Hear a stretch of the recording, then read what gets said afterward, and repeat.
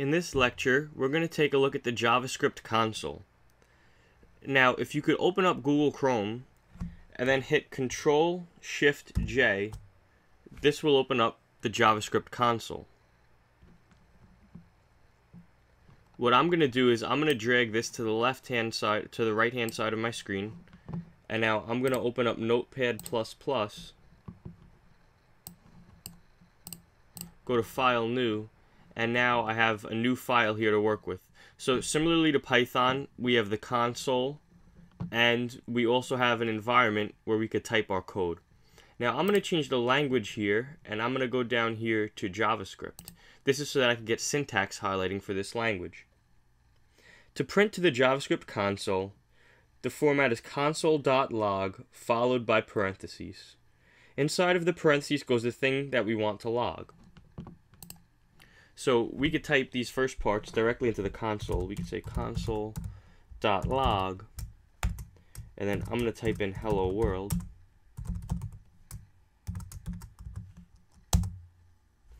And you'll see that hello world was printed to the console. Now, I'm going to type another. I could also, uh, the workflow here could also be console.log. And then I could say programming is fun. And a workflow that you could use is you could type your code into Notepad++, copy and paste this into the console. I'm going to hit Control V. If you're on a Mac, that would be uh, Command V to paste. And you'll notice that it says here, programming is fun. Now, aside from strings, we can print other types of values, like integers to the console as well. For example, console.log integer value 5. And then notice that in JavaScript, each statement ends in a semicolon.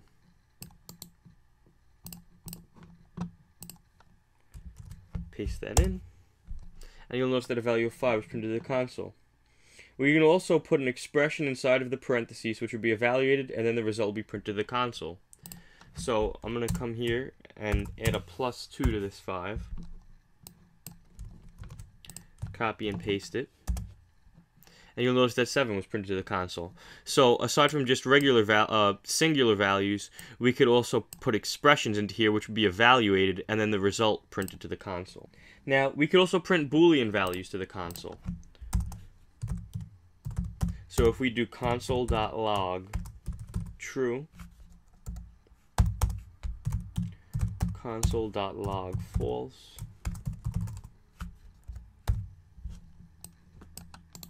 you'll notice that these also can be printed to the console. Now notice one difference between booleans in JavaScript and booleans in Python. In Python, booleans have a capital first letter. The T in true is capitalized and the F in false is capitalized. Now in JavaScript, that's not the case. So you'll see that these boolean values were printed to the console. Now we can also separate values with commas to print each value separately. So I'm just going to choose one of these console log statements, clear it out, and I'll say 1 comma 2 comma 3. So now we're going to console.log 1, 2, and 3, those integer values, and these will all be logged separately. So you'll see here that 1 was logged, then a space was printed, 2 was logged, space was printed, 3 was logged. So you're able to print them out on the same line but separated by spaces. Now, we could also use the string method to convert something to a string. For example, if we wanted to concatenate a value other than a string with the string value, uh, we could do this. We could say console dot log and we'll say 1 plus 1 equals we'll put a space and another space. We'll put a space inside of the string. Then outside of the string we'll put a plus sign we'll say string 2. And then at the end, we're going to put a semicolon. So let's take a look at what this is doing.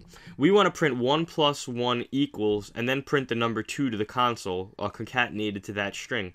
But if we were to remove this uh, string method here that we're passing the 2 into, to convert it to a string, we wouldn't be able to use this plus sign to concatenate them.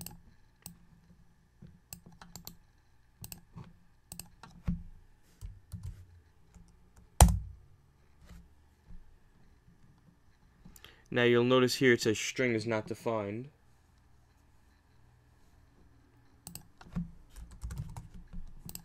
That's because I was using the wrong string value. See, so uh, the, so this here, this lowercase string uh, is not defined. So actually, this method starts with an uppercase, and you could also tell this by the syntax highlighting. So when you're using one of these uh, conversions, it turns purple. So uh, that's that's a quick way to know if you did something uh, wrong. Then if you don't see the syntax highlighting there, uh, you may have typed something in incorrectly. Uh, you'll see a you'll see an error, a reference error here that the string is not defined. And, but then you'll see that uh, when we change it to a capital letter, we get our proper result here: one plus one equals two.